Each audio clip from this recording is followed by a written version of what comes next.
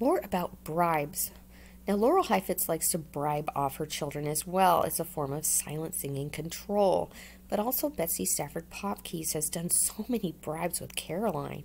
It's almost unbelievable that Caroline has become her complete slave. Like I said, she had her drugged. When she started calling her mother out against the divorce, she was almost immediately sent to the psychologist and put on antidepressants for over two years. Caroline couldn't even talk for two years. She lost her virginity and all Betsy Stafford Popkes and say, Oh no, I didn't.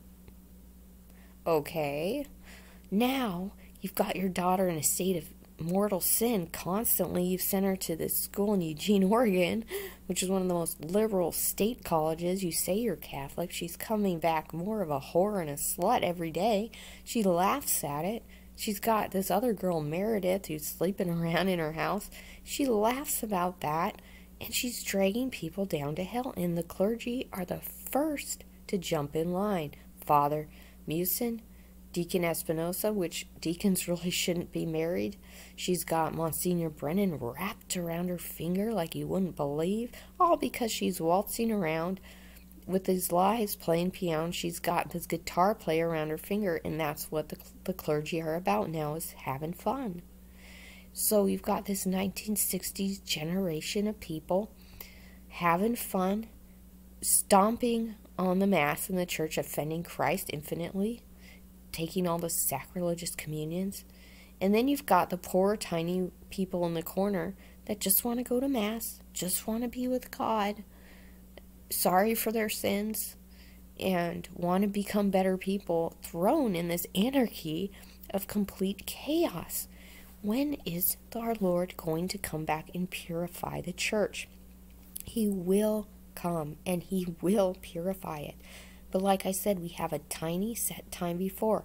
There will be an illumination of conscience where everyone will see their sins, what they've been doing wrong. They could be sins of commission and sins of omission. What we aren't doing is what we may be judged by, more so than what we are doing. So keep that in mind. And like I said, Asher, you call that Michael Mangan and you get on board with the late order of St. Michael and Mike St. Michael's World Apostolate right now today and you find out what you need to do. And I could care less how many relatives want to squash it or laugh at it. I really could care less. It's just too bad for them because I am your mother and I told you what you need to do to go to heaven. And this is the path. I do not know if I will be able to access any sort of communication, direct communication line with you because of the corruption of the relatives in the clergy, which make it virtually impossible. But what I can tell you is this your mother is with you. I am physically and spiritually with you, minute by minute, second by second. But more so is your blessed mother, our mother, perpetual help up there, and she is with you minute by minute, second by second, and she is going to be with you till the end of time.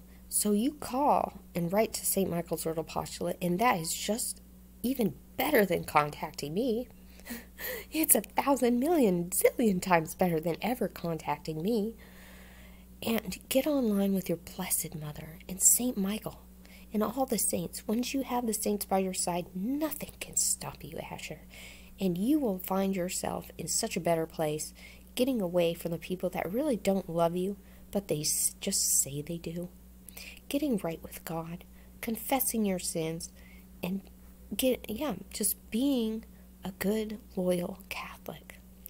May God bless you.